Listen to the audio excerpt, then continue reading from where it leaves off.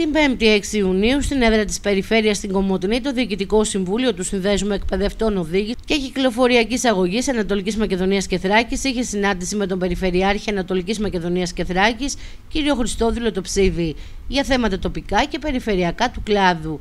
Η συνάντηση έγινε σε πολύ καλό κλίμα, με τον κύριο Τοψίδη να ανακοινώνει τα εξής. Προτεραιότητα της περιφέρειας στην ψηφιοποίηση των διαδικασιών διεκπαιρέωσης στο μέγιστο βαθμό δράσεις οδικής ασφάλειας σε ολόκληρη την περιφέρεια με τη συμμετοχή του συνδέσμου. Δημιουργία επιτροπών οδικής ασφάλειας σε όλες τις περιφερειακές ενότητες της περιφέρειας. Λειτουργία του αναπτυξιακού οργανισμού, παρέμβασή του στην Ένωση Περιφερειαρχών Ελλάδος για το θέμα των λίγων εξεταστών στην περιφέρειά μας.